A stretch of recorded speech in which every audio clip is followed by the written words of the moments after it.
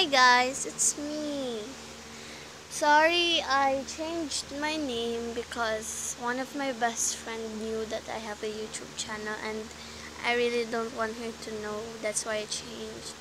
So Kotara is changed to Mayou. I really like Mayou though. Mayou is an anime character but I forgot the anime name and, and I'm really sorry. And um right now I'm doing something I don't know. Dumb I, I'm just here to apologize.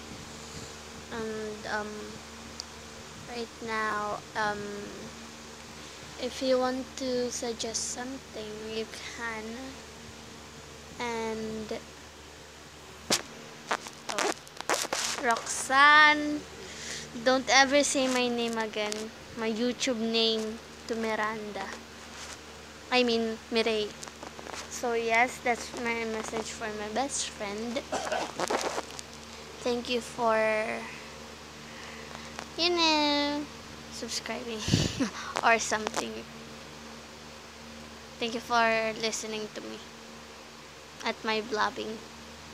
Bye-bye, Otaku fans and fans and people and personas.